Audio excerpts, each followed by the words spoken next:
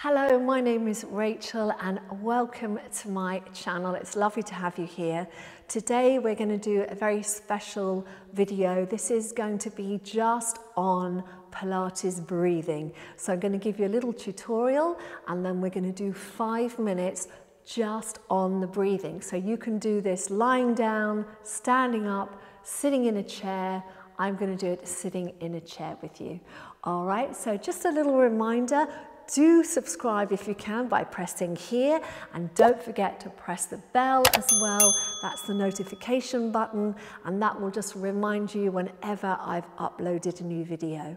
All right, so go ahead, get yourselves ready and I'll see you in a moment.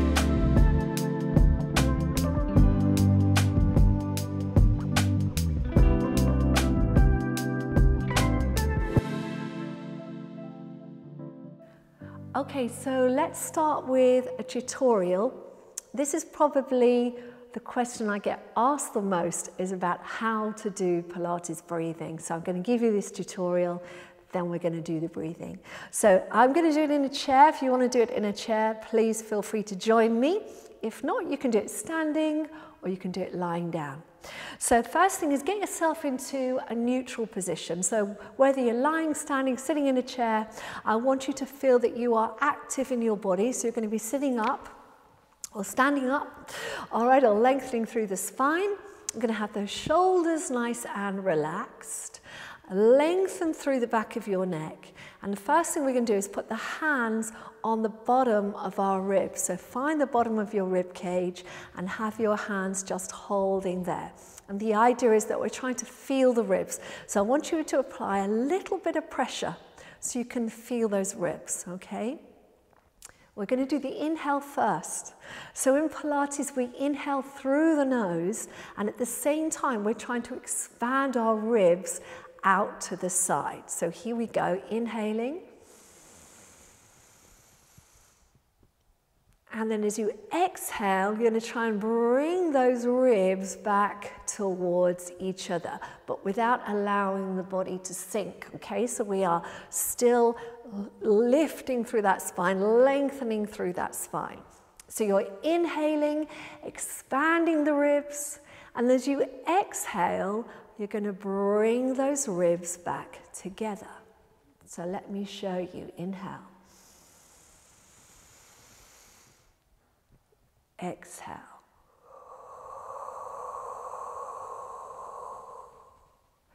Inhale.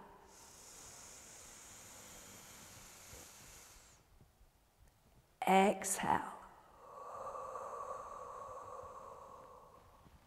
One more. Inhale.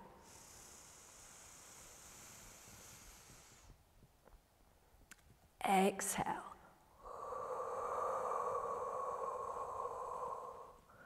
All right, so don't be worried if you get a little bit lightheaded. That can happen when you first start to do this deep breathing technique, okay? So second part of this is the exhale. So for that, I'd like you to bring your hands down, find your belly button, and you want your hands just below, so like an inch or a couple of centimeters below the belly button. And again, you're sitting up nice and tall, okay, standing nice and tall, hands resting there.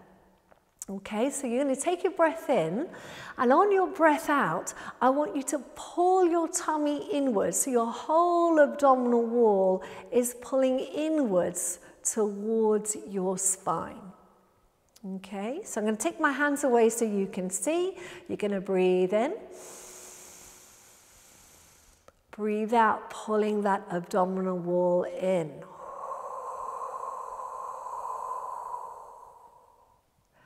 Inhale through the nose. Exhale through the mouth.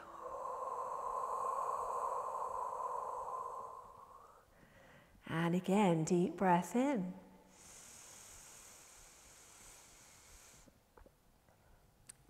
out through the mouth. Okay, so now we're going to pull all that together, inhaling through the nose, expanding the ribs. Exhaling through the mouth, drawing the abdominals in. Inhale through the nose.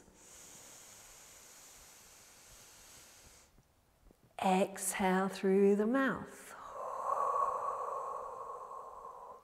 One more time. Inhale.